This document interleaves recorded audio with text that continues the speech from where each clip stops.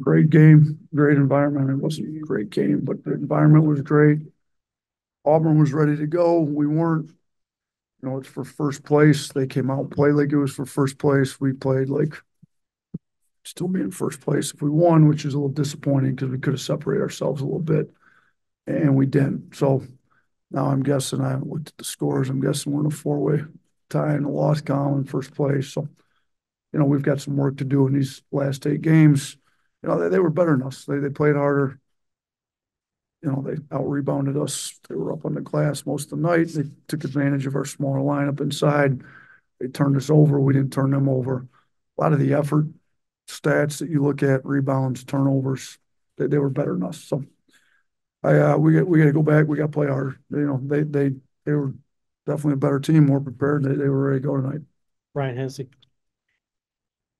Coach, when we were at Coleman, you kind of said if your team came out like this on the road, they wouldn't win. Was it a different scenario that you envisioned with the team, how they played at Coleman, or is this kind of a different scenario? Uh, I mean, we we didn't play very well at the beginning of that game. We were better on offense this game, but our defense, like, you know, it's like we're content with just trading baskets. We we We had no problem scoring at the beginning of the game, but, you know, I think about after the first two media timeouts, I think it was on pace to be about 110 or 120 to 90 or 100 or whatever, you know, like we're going to have a shootout. Like, so it's great that our offense can be clicking, and then then it wasn't. So then when, you know, your defense isn't there and your offense goes away, then they open up a big lead, which is what happened. And then, you know, I give them a lot of credit. They were down 14 at the half at our place. They came out in the second half, played really hard, and got back in the thing.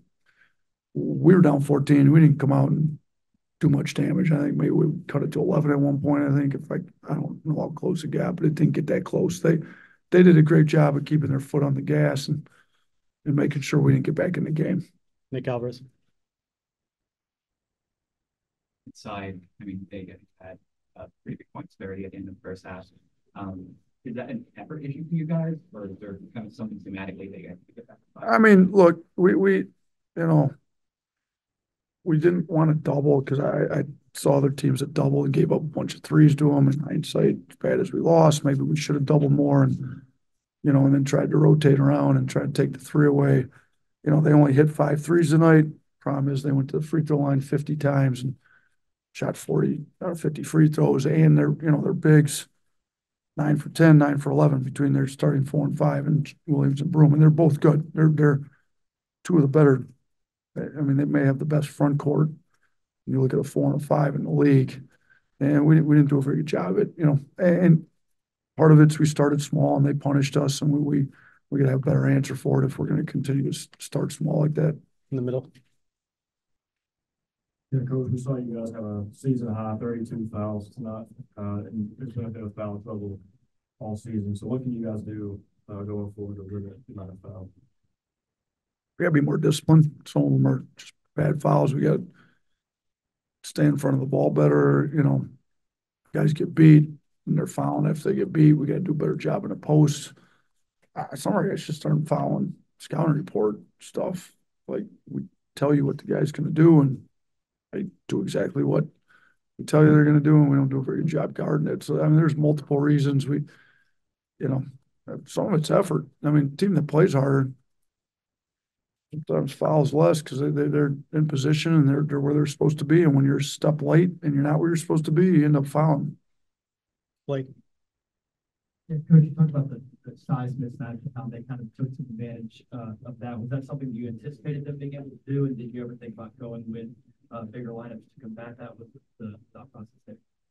Yeah, I mean, we did go with bigger lineups. We we played Jarin at the four with Grant at the five. We played Grant at the four with Pringle at the five. We played Mo Diabate, Jarin, and a five together at times. I mean, we we were probably better on Williams when we did that, but even some of our big guys got posted and scored on. So, you know, I I like maybe going small got him going and then he just had his confidence going. You know, for Williams to score 26 and we hit one three, you know, he did a lot of damage at the free throw line and in the paint. So, yeah, I, I we didn't really debate starting bigger, but we definitely went bigger at times in the game. And it didn't do much. Nick Kelly. Yeah, Nate, as far as, I mean, talk about how good those guys are in the front court, I mean, is that something where it's just a matter of learning from it, or is there legitimate concern about how you guys can handle guys inside, uh, long term?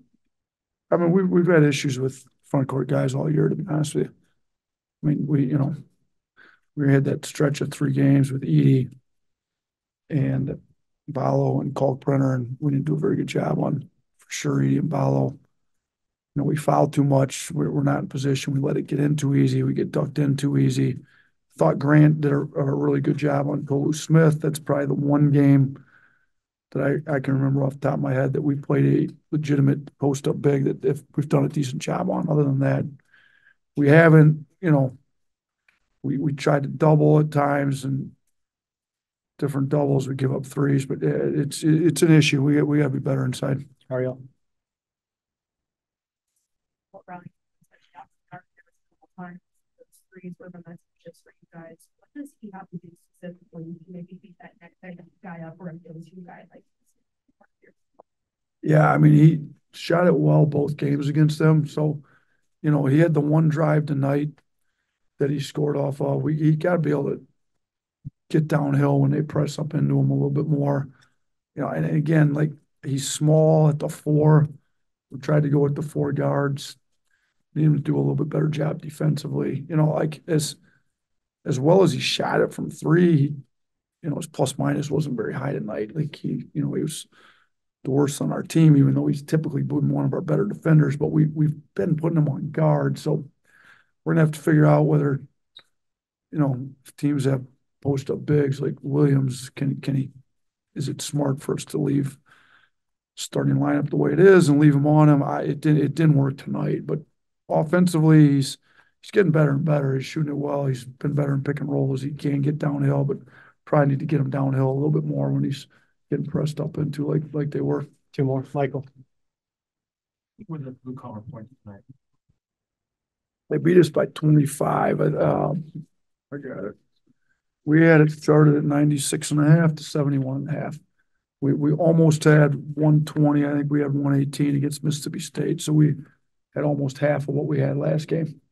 So we, we didn't play hard enough. We had multiple guys that played enough minutes that had, you know, one, one and a half, two.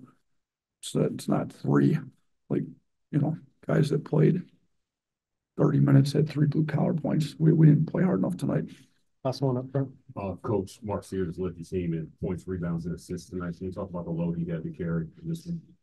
Yeah, I mean, he's been our best player all year. You know, he's, you know, it, it wasn't, they, they know, Auburn knows who, you know, scores our points. They did a pretty good job on him for most of the game. You know, he got loose at times, but, you know, we gotta have some other guys step up. We gotta have, you know, some other guys rebound it better. You know, he did play almost thirty-seven minutes, so he was in there more than everybody to get more rebounds, but gotta have some other guys be able to make some plays, maybe play him off the ball a little more. And we, and we- and honestly, we need Mark to play better defense. Like, we're not gonna be able to win at the level we, we, we're used to winning at around here if, if he's not better for us on defense, but we do need some guys to step up, help him out on offense a little bit more. Thank you, coach.